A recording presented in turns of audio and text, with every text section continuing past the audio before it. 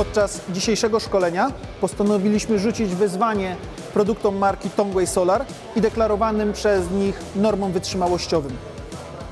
To, co zobaczyliśmy podczas szkolenia, przerosło nasze oczekiwania i potwierdziło bardzo wysoką jakość produktu.